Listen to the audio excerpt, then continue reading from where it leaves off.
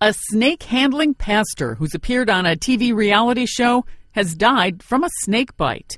Pastor Jamie Coots was handling a rattlesnake during his Saturday night service in Middlesboro, Kentucky, when witnesses say the snake bit the back of his hand. Middlesboro police say an ambulance went to the church, then to Coots' home, where the pastor refused treatment.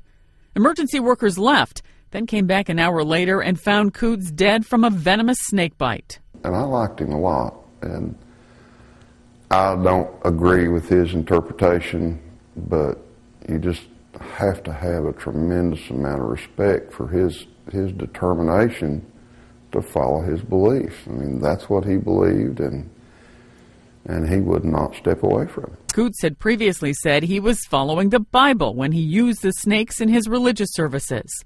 His son Cody says snakes bit the pastor eight other times, but his reactions were never that severe. Coots had appeared on the National Geographic television reality show Snake Salvation. Sandy Kozel, The Associated Press.